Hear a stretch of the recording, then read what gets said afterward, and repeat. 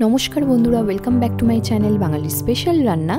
মায়ের হাতের আজকে একটা নতুন ধরনের রেসিপি নিয়ে চলে এসেছি, সিরকা পেঁয়াজ। তো দেখো মা কীভাবে রেডি করে।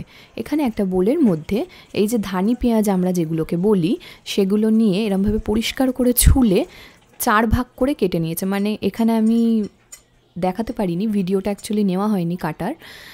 মাঝখানে জাস্ট চার ভাগ করে নিয়েছে, পুরোপুরি চার ভাগ করেনি। ছুরি দিয়ে জাস্ট কেটে নিয়েছে, নিয়ে একটা পরিষ্কার করে জল দিয়ে ধুয়ে এই ঝুড়িটার মধ্যে তুলে নিল।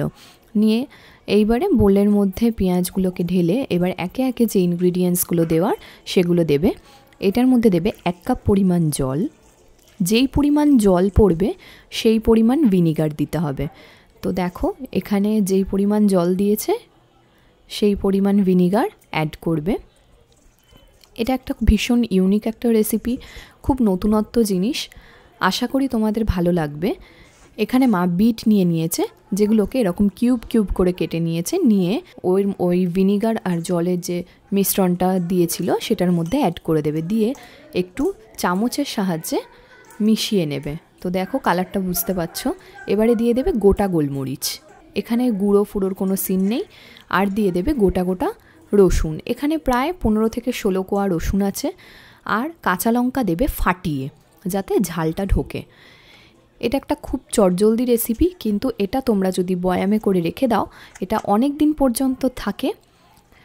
আর এখানে দিয়ে দেবে পেঁয়াজের একটা ছোট্ট যে গাছগুলো হয় না, সেইগুলো। এবার এর মধ্যে অ্যাড করবে দু চামচ চাট মশলা। চাট মশলাটা দিলে ফ্লেভারটা খুব সুন্দর আসে। আর দিয়ে দেবে পরিমাণ মতো বিট নুন। এখানে নর্মাল নুন ব্যবহার না করাই ভালো। বিট নুন দিলে তবেই খেতে সুন্দর লাগবে।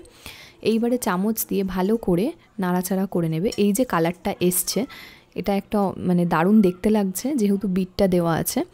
তোমাদের যদি ভালো লাগে অবশ্যই লাইক শেয়ার কমেন্ট করতে ভুলো না। আর আমাদের বাঙালি স্পেশাল রান্না চ্যানেলটিকে অবশ্যই অবশ্যই সাবস্ক্রাইব করো। আর নতুন নতুন রেসিপি পেতে পাশে থাকা বেল আইকনটিতে ক্লিক করো। Tata thank you